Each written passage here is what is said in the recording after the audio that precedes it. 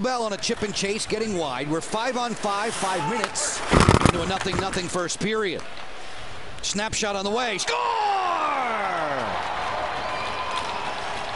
Here's the forecheck. Look at how hard they get in on the D. Watch this check right there by half. That's perfect.